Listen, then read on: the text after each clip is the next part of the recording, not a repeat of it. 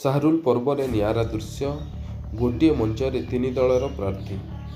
Kutra block ଅନ୍ତର୍ଗତ ତେଲିଗଣା ଆମ୍ବ ବଗିଚାଠାରେ ତେଲିଗଣା ମୁଲି ପାହାଡ଼ା ପକ୍ଷରୁ ଖାର୍ଦି ସାହାରୁଲ ପର୍ବ ସମାରୋହରେ ପାଳିତ ହୋଇଛି। ପ୍ରତିବର୍ଷ ଚୈତ୍ର ପୂର୍ଣ୍ଣିମାରେ ଏହି ମହାନ ଗଣପର୍ବ ପାଳିତ ହୋଇ ଆସୁଥିବା ବେଳେ ଆଜି ବିଶାଳ ଜନସମାଗମରେ ପ୍ରକୃତି ମାଙ୍କୁ ପୂଜାର୍ଚ୍ଚନା କରାଯାଇଛି। ଏହି ଅବସରରେ ତିନି ଦଳର ପ୍ରାର୍ଥୀଙ୍କୁ ଗୋଟିଏ ମଞ୍ଚରେ ଦେଖିବାକୁ ମିଳିଛି।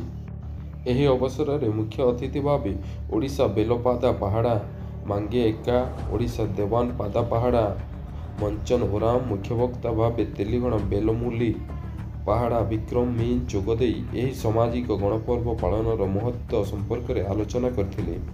ତେବେ ଏହି ପର୍ବ ଅବସରରେ ଏକ ରୋଚକ ଦୃଶ୍ୟ ଦେଖିବାକୁ ମିଳିଥିଲା। ତିନି ପ୍ରମୁଖ ରାଜନୈତିକ ଦଳର ରାଜିରାମପୁର ବିଧାନସଭା ପ୍ରାର୍ଥୀଙ୍କ ସହ ବିଜେଡି ଲୋକସଭା ପ୍ରାର୍ଥୀ ଗୋଟିଏ ମଞ୍ଚରେ ଏକାଠି ହୋଇଥିଲେ।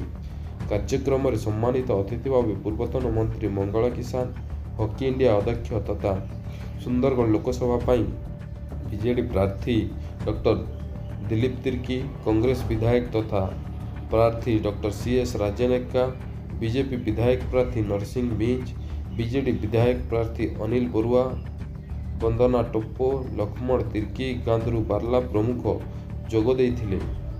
ବିକ୍ରମ କୁଜୁର ସୁଦାମ ବାର୍ଲା ପ୍ରମୁଖ କାର୍ଯ୍ୟକ୍ରମ ପରିଚାଳନାରେ ସହଯୋଗ କରିଥିଲେ। ସୁନ୍ଦରଗଡ଼ କୁତ୍ରାରୁ ରାଜେଶ ସାହୁଙ୍କ ରିପୋର୍ଟ ସମ୍ବାଦ ଏକ୍ସପ୍ରେସ।